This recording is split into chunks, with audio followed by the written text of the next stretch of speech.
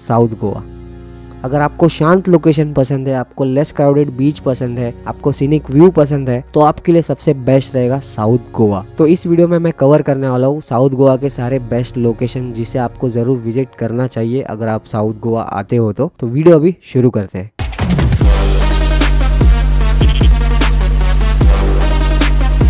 गोवा ऐसे तो दो पार्ट में डिवाइडेड है, एक है साउथ गोवा दूसरा है नॉर्थ गोवा अगर आप गोवा फ़र्स्ट टाइम आ रहे हो तो आपको नॉर्थ गोवा ज़रूर विज़िट करना चाहिए। ज़्यादातर टूरिस्ट नॉर्थ गोवा जाना पसंद करते हैं, क्योंकि वहाँ पे आपको ज़्यादातर क्लबिंग और पार्टी देखने मिलती है। तो इस वजह से ज़्यादातर टूरिस्ट नॉर्थ गोवा जाना पसंद करते हैं। और जिसके ऊपर मैं ऑलरेडी वीडियो बना चुका हूँ, जिसका मैं लिंक दे दूँगा नीचे डिस्क्रिप्शन में, जो की पार्ट वन था, ये पार्ट टू है।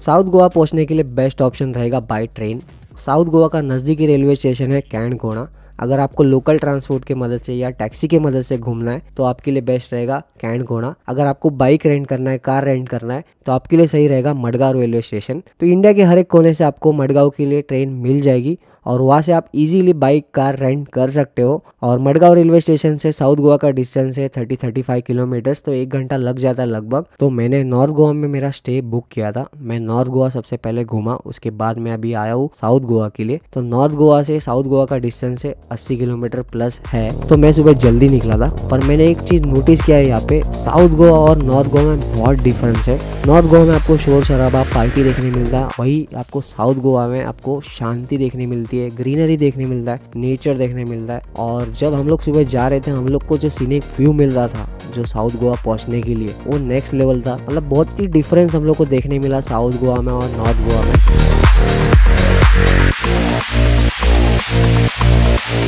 तो आज का हमारा पहला लोकेशन है पालोलम बीच जो कि साउथ गोवा का बहुत ही फ़ेमस बीच है। तो साउथ गोवा बहुत सारे लोग इसलिए भी यहाँ पे आना पसंद करते हैं क्योंकि यहाँ पे आपको थोड़ा क्राउड कम देखने मिलता है नॉर्थ गोवा के कंपैरिजन में। और बहुत ही सही सही यहाँ पे बीच है और बहुत ही अच्छे अच्छे यहाँ पे रेस्टोरेंट कैफ़े वगैरह भी है। मतलब चिल करने के लिए आपको यहाँ पे बेस्ट जगह अगर तो यहाँ पे क्लबिंग वगैरह होती है, पर नॉर्थ गोवा के कंपेरिजन में ज़्यादा इतना नहीं होती यहाँ पे। और भी कई सारे बीचेस अभी मैं आगे करने वाला हूँ तो उसमें से ये भी एक है।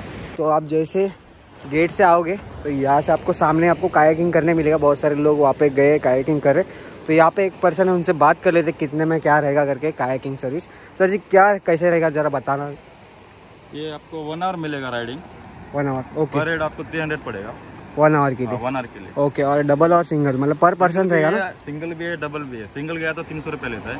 अगर डबल गया तो सिक्स हंड्रेड पड़ेगा। ठीक है। और कहाँ तक जा सकता है यहाँ पे? वो सामने जो मंकी आइलैंड दिख रहा है ना ओके आइलैंड तक ओके। जाके आ सकते हैं वहाँ तक जाके आ सकता है।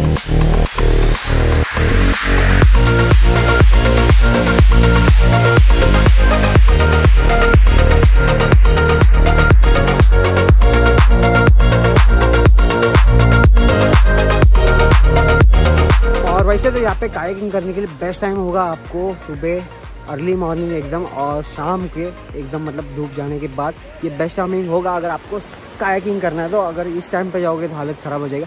तो मेरे को कायाकिंग करना था पर मैं थोड़ा लेट हो गया आते आते नौ बज गया मुझे। इस वजह से मैं जा नहीं पाया मतलब अगर अभी जा सकते हैं अंदर बहुत पसीना मतलब बहुत गर्म होगा। तो राज कैसे लग रहा है यहाँ पे साउथ गोवा पे आके? नॉर्थ गोवा के कंपेरिजन में बता जरा। सीज़न के टाइम पे भी यहाँ पे एकदम पोसे हम यहाँ पे सीज़न के टाइम पे भी एकदम मतलब खाली खाली रहता है। हाँ। तो आप मतलब फैमिली के साथ में अगर सिंगल फ्रेंड के साथ में अगर आपको पार्टी वगैरह करना है तो आपको नॉर्थ गोवा बेस्ट रहेगा। अगर आपको शांत जगह पसंद है तो ये आपके लिए साउथ गोवा थोड़ा बेस्ट होगा। तो मैं बोलूँगा आप यहीं पे स्टे बुक करने देखना। और ऑलरेडी बुक करके आना थोड़ा यहाँ पे महँगा है। अभी नॉन सीज़न में यहाँ पे दो हज़ार भाव चल रहा है। दो से लेके पाँच छः हज़ार जितना आपका रहेगा बजट वहाँ तक जाएगा यहाँ पे। तो मैं बोलूँगा आप ऑनलाइन बुक करके आना। तो यहाँ पे आपको बीच को लग के यहाँ पे बाइक पार्किंग वगैरह होती है, जो हमने सामने लगाया था। और उसी के सामने आपको यहाँ पे वॉशरूम भी अगर आपको चेंजिंग वगैरह करना है यहाँ पे तो यहाँ पे चेंजिंग वगैरह भी कर सकते हो, बीच से नहा वहा के आके। तो आपको इधर चार्जेस देना पड़ेगा चेंजिंग वगैरह के लिए। टॉयलेट यूज़ कर सकते हो, जो कि अच्छा है। और यही से आपको टैक्सी वगैरह भी मिल जाएगा तो यहाँ पे टैक्सी वगैरह भी मिलता है। टैक्सी का स्टैंड यहाँ पे, देखिए बीच का गेट है। और यहाँ पे ये टैक्सी का स्टैंड है तो यहाँ से टैक्सी वगैरह मिलता है। तो टैक्सी का आपको यहाँ से अगर मडगांव स्टेशन जाना है तो लगभग आपको 2000 से लेके 3000 के बीच में लग सकता है अगर आपको यहाँ से टैक्सी करना है। तो मैं तो बोलूँगा मडगांव से आप बाइक रेंट करके आना, नहीं तो कार रेंट करके आना अच्छा। अगर आपको ड्राइविंग नहीं आता तो आपको टैक्सी सर्विस भी है यहाँ पे। तो इस वीडियो में मैं सिर्फ़ बीच और फोर्टी कवर कर पाया टाइम मैनेजमेंट की वजह से। अगर आपको कहीं पे जाना है तो मैं दो तीन लोकेशन बताता हूँ शॉर्टली एकदम। तो सबसे पहला लोकेशन है दूध सागर वाटरफॉल तो यहाँ पे पहुँचने के लिए आपको सबसे पहले पहुँचना होगा कोलम रेलवे स्टेशन तो इस वाटरफॉल को कवर करने के लिए आपको एक दिन देना पड़ सकता है। जैसे आप कोलम रेलवे स्टेशन पहुंचोगे तो वहाँ से आपको जाने के लिए यहाँ पे दो रास्ता है। एक है बाय रेलवे ट्रैक और दूसरा है जिप्सी सर्विस। तो रेलवे ट्रैक से तो बैन है तो आपको जिप्सी सर्विस से जाना होगा। तो उसके लिए आपको पाँच सौ से लेकर छह सौ रुपये पर पर्सन देना पड़ता है। तो वो आपको वाटरफॉल के नियर बाय छोड़ देगा। वहाँ से आपको एक छोटा सा ट्रैक करना पड़ता है, उसके बाद आपका वाटरफॉल आ जाएगा।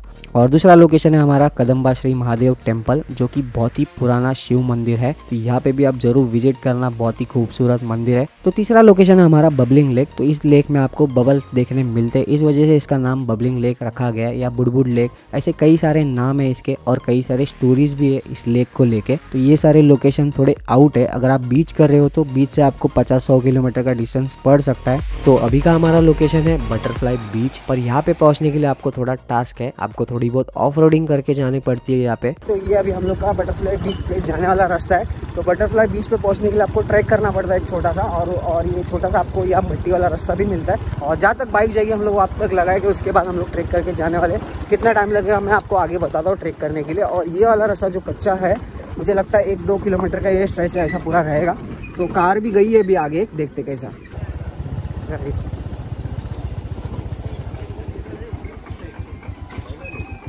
कितना? हंड्रेड। रुपीज़ कितना टाइम इधर है हाँ? कितना कितना कितना लंबा दो किलोमीटर। तो यहाँ पे एक चेक पोस्ट आता है तो वहाँ पे आपको हंड्रेड रुपीज़ पे करना है अंदर जाने के लिए। तो ये पार्किंग का था ना पार्किंग भी था ना उसमें कुछ बड़ा नहीं था पार्किंग का नहीं तो अंदर जाने का एंट्री हो सकता है जो भी है। और यहाँ से ट्रेक दो किलोमीटर का है वैसा बोल रहे हैं। तो देखते गाड़ी जहाँ तक अंदर जाती है लगाते हम लोग। साइकिल का क्या बोल रहे थे? साइकिल साइकिल से राइट लेना है। अच्छा साइकिल साइकिल है वहाँ पे साइकिल लैंडमार्क है। हाँ वहाँ पे है एक घोड़ा साइकिल रखा है। उतरू क्या मैं भी? कुछ चलेगा। ये साइकिल लैंडमार्क है यहाँ पे। घोड़ा साइकिल चल।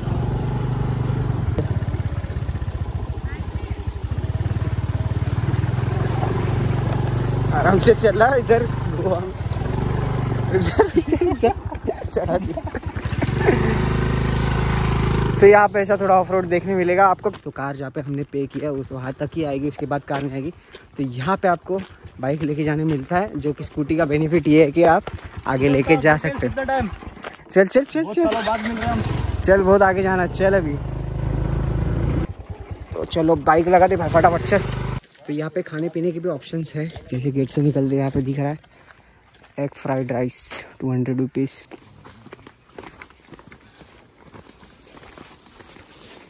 तो फाइनली हम लोग पहुँच गए बटरफ्लाई बीच के पास।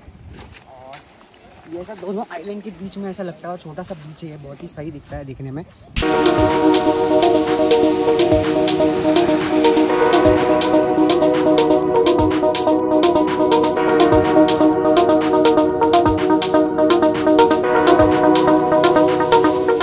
और ये कुछ ऐसा टाइप का दिखता है मतलब दोनों साइड में आइलैंड टाइप है मतलब वहाँ पे आइलैंड टाइप दिखता है। और यहाँ पे। उसके बीच में ये छोटा सा आपको ये बीच है और बहुत ही सही दिखता है मतलब बहुत ही प्यारा। अभी मैं दोपहर में आया हूँ, पर भी यहाँ पे ऐसा ब्लूइश पानी दिख रहा है। अगर आपको शाम के या मॉर्निंग के टाइम में अगर आते हो तो आपको बहुत ही अच्छा व्यू देखने मिलेगा। जहाँ पे गेट लगा था, हम लोग से हंड्रेड रुपीज़ लिया था। वहाँ से अगर आपको अंदर आने का रहेगा तो आपको वहाँ से जीप वाला सर्विस अवेलेबल है, उसका प्राइसिंग अभी पता नहीं, मैं बाहर जाके देखता हूँ कितना क्या रहेगा। तो अभी हम लोग पहुँच गए अगोंडा बीच जो कि बटरफ्लाई बीच के बाद ही आता है मतलब सात किलोमीटर के डिस्टेंस पे है बटरफ्लाई बीच के बाद में। और ज़्यादा इसके लिए ट्रैक भी कुछ करने की ज़रूरत नहीं मतलब गाड़ी आपकी एकदम बीच के बाजू में लग जाती है, वहाँ से आपको खाली चल के यहाँ पे आना है। और बहुत ही मस्त बीच है एकदम, बहुत ही बड़ा स्ट्रेच है, देख सकते सामने का मस्त पहाड़ का व्यू दिख रहा है। और यहाँ पे भी बहुत बड़ा ऐसा लंबा सा स्ट्रेच है, और वहाँ भी मस्त पहाड़ है एकदम। और बहुत ही ब्लूइश पानी है यहाँ पे। यहाँ पे भी वैसे था मतलब जितना भी साउथ के जितने भी बीचेस किए, सबके आपको ब्लूइश पानी देखने मिलेगा।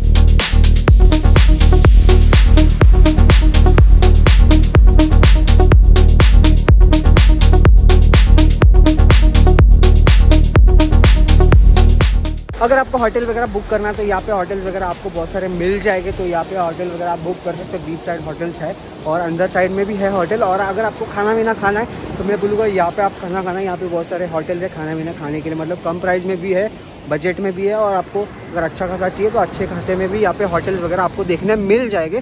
तो यहाँ पे मैं अभी लंच करने का सोचा है हमने तो यहाँ पे अगर लंच करके फिर हम लोग आगे के बीचेस पे निकलेंगे अभी। तो जैसे आप इस रास्ते से आओगे तो आपको बीच पे जाने के लिए राइट या लेफ़्ट में आएगा, उसके सामने आपको यहाँ पे एक चर्च देखने मिलेगा।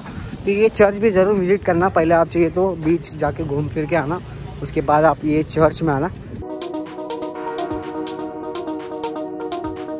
तो चर्च के सामने हम लोग अभी रेस्टोरेंट में बैठे खाना खाने के लिए यहाँ से हम लोग खाना खा के आगे जाने वाले। तो एक कुछ ऐसा टाइप का रेस्टोरेंट है ऊपर। मस्त लग रहा है बाजू में पूरा ग्रीनरी और देखते कैसे क्या रहेगा खाना आपको था और कितने में रहेगा यहाँ पे खाना वो भी बता दो। तो ये हम लोग ने नॉनवेज मंगाया एक थाली और एक मंगाया हम लोग ने वेज ओह माय गॉड तो अभी हम लोग पहुँच गए कोला बीच जो कि बहुत ही सही है बहुत ही प्यारा बीच है। और आपको इसका टॉप व्यू देखने मिलता है, देख सकते हो। तो बहुत ही अच्छा बीच है।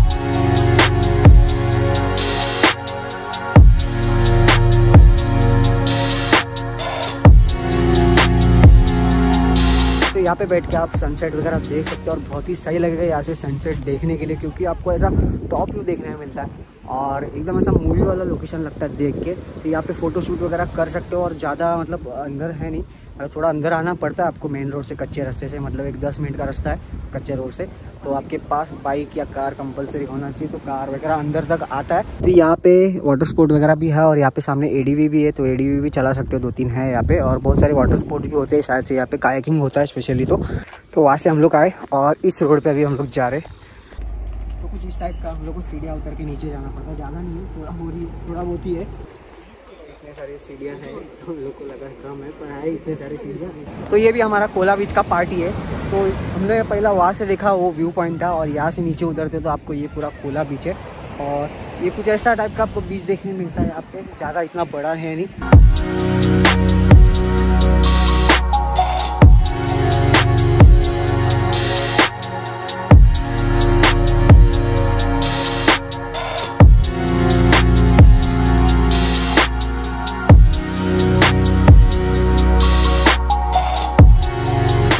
प्लस चीज़ यहाँ पे ये है कि यहाँ पे आपको स्वीट वाटर देखने मिलता है, जहाँ पे जाके आप काइकिंग कर सकते हो। मतलब काइकिंग करने के लिए बेस्ट प्लेस है अगर आप करना चाहते हो तो और बहुत ही कम पैसे में यहाँ पे काइकिंग होता है। आपको 500 में आपको दो जन काइकिंग यहाँ पे कर सकते हो। आधे से लेके एक घंटा जो आप बात करके उनसे कर सकते हो और बार्गेनिंग करने में और भी कम हो सकता है।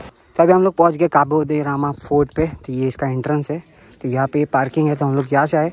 यहाँ पे पार्किंग का है व्यवस्था। तो यहाँ पे इसकी कुछ ये हिस्ट्री है कि आप आप पॉज करके पढ़ सकते हो।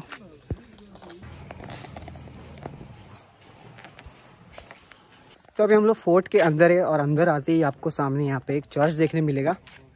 तो ये सेंट एंथोनी चर्च है फोर्ट के अंदर। और आगे जाओगे तो थोड़ा मतलब वहाँ पे व्यू पॉइंट है तो व्यू पॉइंट जाके हम लोग देखते हो और वहाँ पे फ़ोटो वगैरह खींच सकते हो। और उसी के बाजू में नीचे आपको एक बीच पे जाने के लिए रास्ता है, जो कि है पेबल बीच। आप नीचे सीढ़ी से उतर के जा सकते हो, जो देखते हैं हम लोग आगे जाके। तो यहाँ पे पेबल बीच के लिए जाने के लिए एंट्री है नीचे।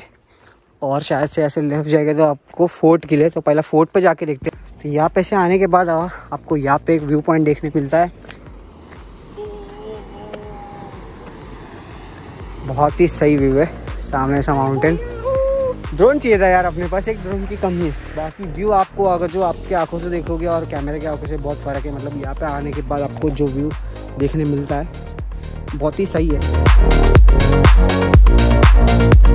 सामने सा आइलैंड बहुत ही अच्छा व्यू अब पूरा ब्लूइश पानी है यहाँ पे अभी सनसेट होने आया हम लोग वो वाले पॉइंट पे भी जाते हैं। तो यहाँ से आपको व्यू पॉइंट है।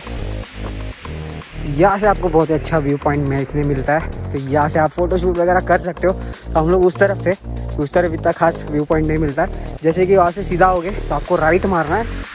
तो यहाँ पे आप आके पहुँचोगे। कुछ इस तरीके का यहाँ पे वॉच शॉर टाइप है बोट का तो यहाँ से आपको पूरा थ्री सिक्सटी व्यू देखने मिलता है आपको आइलैंड प्लस समुंदर का।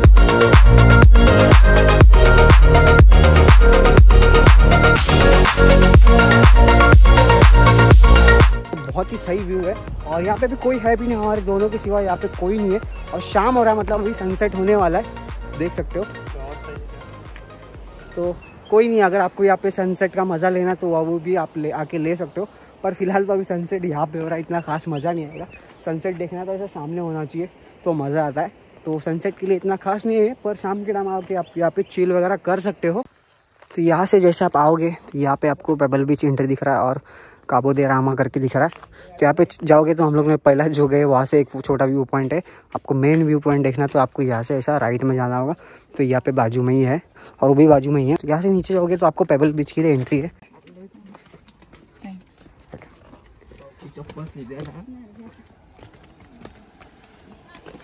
तो अभी हम लोग पहुँच गए पेबल बीच जो आप देख सकते हो। तो इसे ही पेबल बीच बोलते हैं। तो यहाँ पे आपको रेत देखने नहीं मिलेगा, आपको छोटे छोटे पत्थर देखने मिलेंगे। उस वजह से इसका नाम पड़ा है पेबल बीच करके। तो कुछ ऐसा आपको नीचे से उतरते हुए आना पड़ता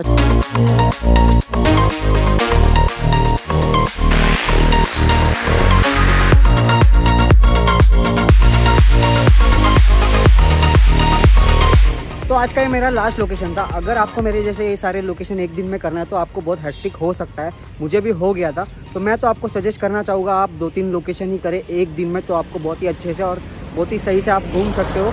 अगर मेरे जैसा पूरा करने जाओगे तो बहुत हेक्टिक होगा। अगर आपको खाली देख के आगे आगे जाना है तो आप सारे लोकेशन कर सकते हो। नहीं तो आप ज़्यादातर ज़्यादा दो तीन ये ट्राई करना देखने के लिए तो आपका बहुत ही अच्छे से होगा। तो उसी पर प्लान करके आना। और बाकी मैंने सब लोकेशन इसलिए बताया कि आपको जो अच्छा लगे, आपको जो कन्वीनियंट लगे तो आप उस पर जा सकते हैं। इसलिए मैंने वो दिखाने की कोशिश की है सभी लोकेशन को। होप करता हूँ कि आज का मेरा वीडियो आपको अच्छा लगा होगा। अच्छा लगा होगा तो लाइक एंड सब्सक्राइब कर देना मेरे चैनल को। अगर आपकी कुछ भी क्वेश्चन होगा तो आप मुझे ज़रूर कमेंट कर सकते हो। मैं आपके कमेंट का जल्दी से जल्दी रिप्लाई देने देखूँगा। और तब तक के लिए बाय